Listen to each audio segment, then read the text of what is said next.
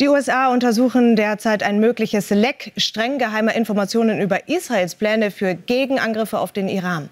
Laut CNN wurden die Top-Secret-Dokumente zuerst auf Telegram veröffentlicht und kursieren seit Freitag im Netz.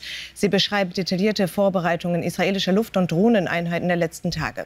Das Leck, das wird als zutiefst beunruhigend eingestuft. Vor etwa zwei Wochen hatten Irans Revolutionsgarden rund 200 ballistische Raketen auf Israel abgefeuert. Ministerpräsident Netanyahu kündigt kündigte daraufhin Vergeltung an.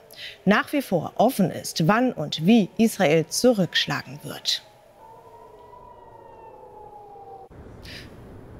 Und da fragen wir noch mal nach bei Tatjana Ohm für uns in Israel. Guten Morgen, Tatjana. Wie kann es denn sein, dass so streng vertrauliche Dokumente der US-Geheimdienste im Netz kursieren und wie brisant sind diese wirklich?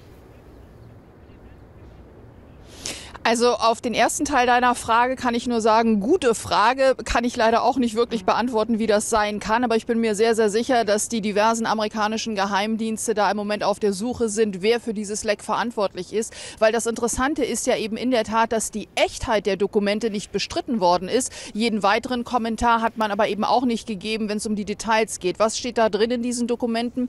Nun, nach unserem Kenntnisstand werden da relativ detailliert zum Beispiel Übungen ähm, beschrieben, die die israelische Luft Luftwaffe hier durchgeführt hat, mit Aufklärungsmaschinen, mit ähm, Kampfmaschinen, mit Kampfflugzeugen sozusagen. Da hat man offenbar geübt, wie dieser Angriff auf den Iran, dieser Vergeltungsschlag möglicherweise aussehen könnte. Interessant aber auch, dass die Amerikaner eben über so detaillierte Informationen von den Israelis offenbar zu verfügen scheinen. Und ähm, interessant auch, dass zum jetzigen Zeitpunkt hier in Israel das von offizieller Stelle noch nicht wirklich weiter kommentiert worden ist, was nicht heißt, dass es nicht noch kommen könnte. Im Beitrag eben, den du kurz anmoderiert moderiert hast, äh, hast du ja auch schon gesagt, es ist zum jetzigen Zeitpunkt auch überhaupt noch nicht klar, wann dieser Vergeltungsschlag stattfinden äh, könnte. Große Frage jetzt hier natürlich auch, ob die Tatsache, dass offenbar einige Details der Übungen dieses Vergeltungsschlags veröffentlicht wurden, ob das möglicherweise dazu führen könnte, dass man das Ganze noch einmal abändert, dass bestimmte Details, die da vielleicht jetzt doch veröffentlicht wurden, noch einmal verändert äh, werden, um eben dann doch am Ende des Tages so eine Art Überraschungsmoment auch äh, zu haben, wenn es darum geht, diesen Vergeltungsschlag durchzuführen.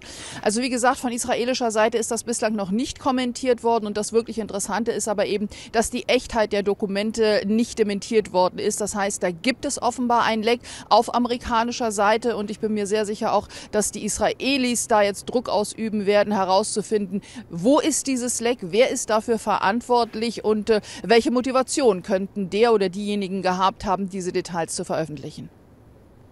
Ja, sehr brisant. Das wird wohl noch ein großes Nachspiel haben. Danke, Tatjana, um für deine Einschätzung aus Israel.